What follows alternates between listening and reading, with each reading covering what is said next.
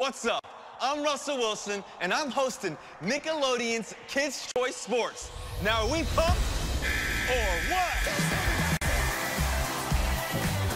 We've got superstars. We've got six shots. And you've got surprises.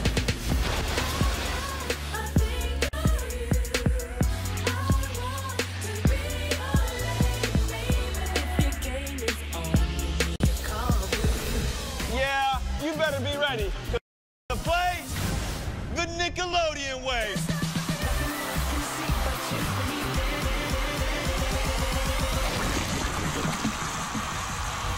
Russell Wilson hosts Nickelodeon's Kids' Choice Sports. Sunday, July 17th. On Nickelodeon Everywhere.